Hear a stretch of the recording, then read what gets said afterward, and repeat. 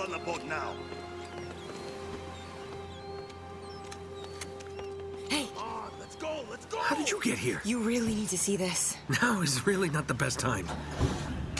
No, Nate. What are you doing? You really need to watch this. Just What? Don't forget the stuff on the dock. and hello. He's alive. Huh. I don't know, Nate. I mean, how much do you trust this guy? It's not exactly like they're holding him at gunpoint. I, I know. We got to get the hell out of here. Yeah, it seems weird.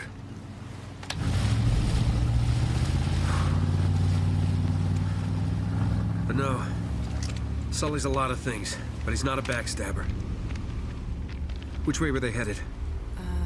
Northish. Yeah, towards the mountains.